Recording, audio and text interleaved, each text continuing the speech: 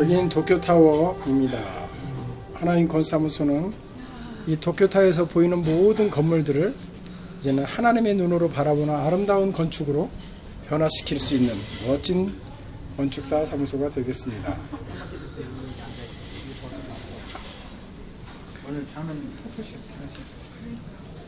하시